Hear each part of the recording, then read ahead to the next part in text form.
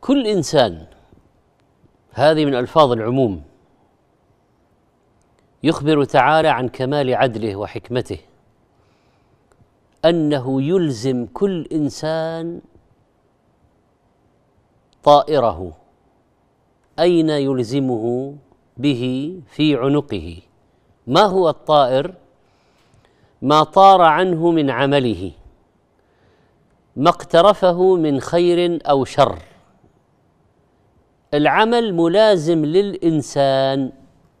كل ما عملته كل ما خرج منك من عمل كل ما طار عنك من عمل ملازم لك يوم القيامة ما في محيص. خلاص هذه أعمالنا. نحن نتكلم نحن نفعل نحن نترك نحن نقول نحن آه نعمل. هذه هذا العمل من قول أو فعل أو ترك خلاص كلها نحن ملزمون بها خرجت منا. ما خرج منك عمل غيرك خرج منك عملك أنت. طار عنك فهو طائر.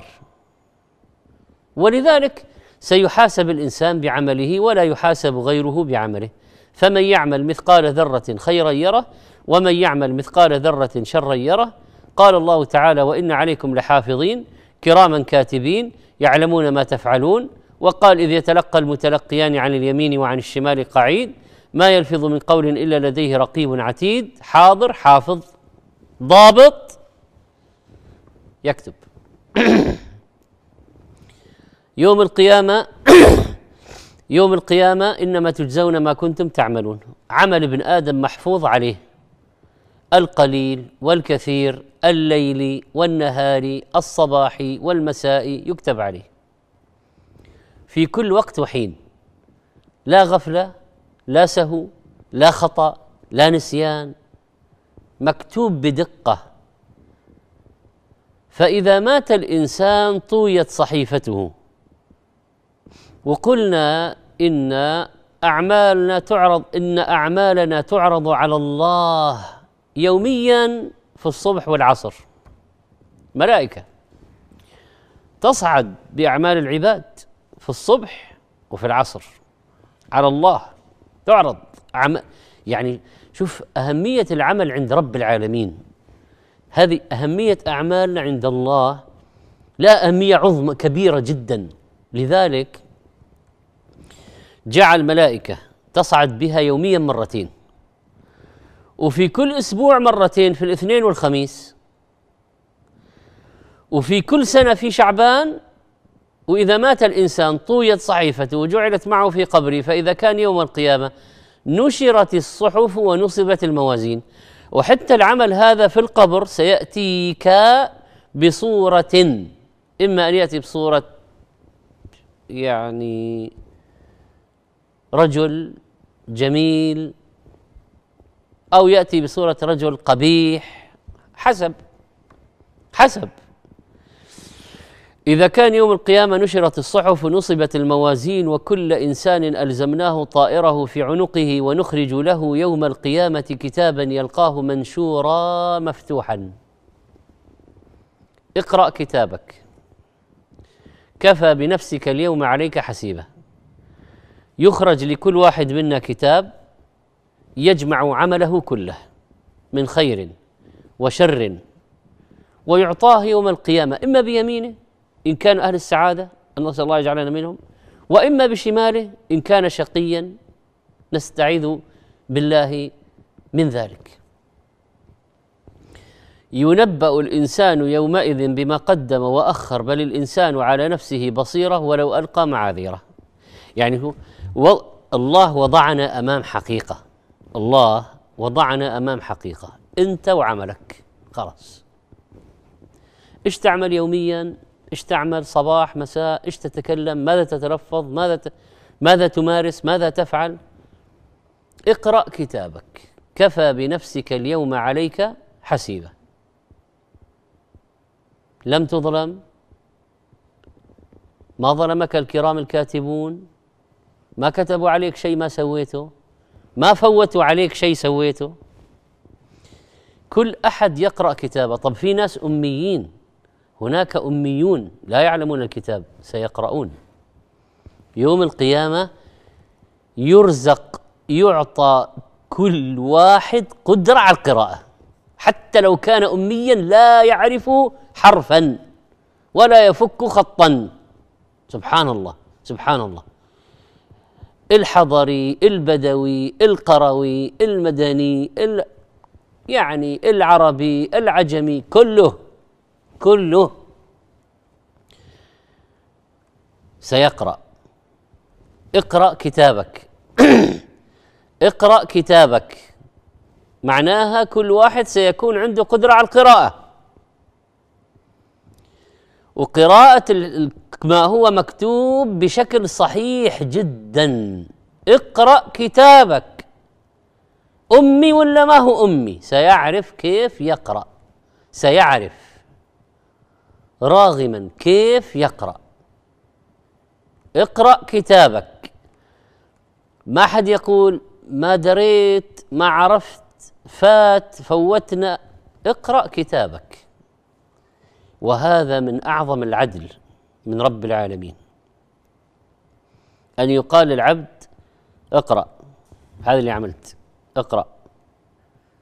اقرأ حتى تقتنع لو دخلت النار إنك تستحق بناء على أعمال مثبتة مكتوبة محصاة مجموعة دقيقة. وحتى لو دخلت الجنة والمراتب في الجنة لأنه حتى دخول الجنة يعني في درجات مراتب في في يعني من السابقين من أصحاب اليمين من المقربين في يعني مقتصد وسابق بالخيرات. طيب هذو يعني هؤلاء أيضا أو يعني لا يظلم حتى ما ما ما ينقص درجة هو يستحق الدرجة التي هي أعلى منها. ما في. يعرف كل واحد الموجب للعقاب ويعرف المستحق للثواب. يا ابن آدم قال الحسن بسطت لك صحيفة ووكل بك ملكان كريمان أحدهما عن يمينك والآخر عن شمالك. فأما الذي عن يمينك فيحفظ حسناتك وأما الذي عن شمالك فيحفظ سيئاتك. فاعمل بما شئت أقلل أو أكثر. حتى إذا مت طويت صحيفتك فجعلت في عنقك معك في قبرك حتى تخرج يوم القيامة. عدل والله عليك من جعلك حسيب نفسك. هذا كلام الحسن. عدل والله عليك من جعلك حسيب نفسك.